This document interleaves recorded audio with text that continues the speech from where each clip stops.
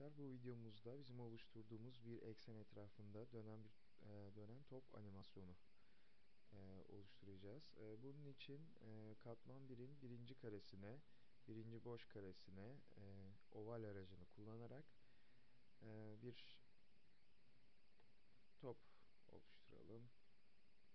E, buradan gradient renklerden e, hazır bulunan gradient renklerden e, gri ve siyah tonlardaki rengi seçiyorum. Dairemi oluşturuyorum. E, dairenin e, boyutunu biraz küçültelim. Biraz büyük oldu.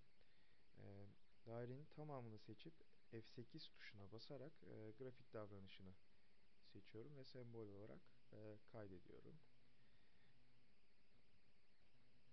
25. kareye e, bir anahtar kare ekliyorum ve motion efektini veriyorum. Snap ve sync seçeneklerini işaretliyoruz. Ee, bir kılavuz yol oluşturmam gerekecek ekseni oluşturmak için. Ee, Add Motion Guide diyerek Layer 1 seçiliyken e, Layer 1 için bir kılavuz katman ekliyorum.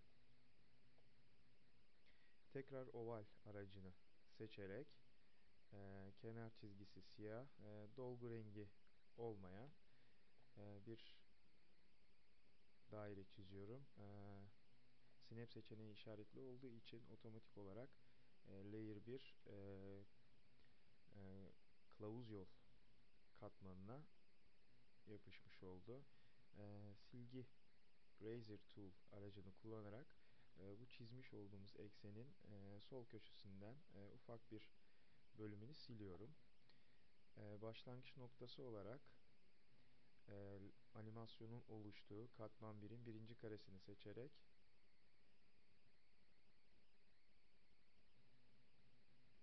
eksenimizin e, üst köşesine e, silik olan tarafındaki üst köşesine yerleştiriyorum. Son kare olarak da diğer köşeyi seçiyorum.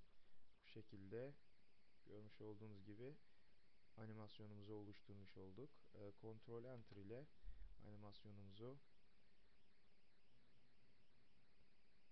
test edebiliriz. E, burada önemli olan e, katman e, katmanımız ile kılavuz katman e, arasındaki uyum e, kılavuz katmandaki e, kare sayısı kadar e, katmanımızda da e, kare sayısı e, bulunmalı. E, yani katmanımızdaki kare sayısı ile kılavuz katmanımızdaki kare sayısı e, eşit olmalı. Tekrar bunu test edelim ve oluşan hareketi gözlemleyebiliriz.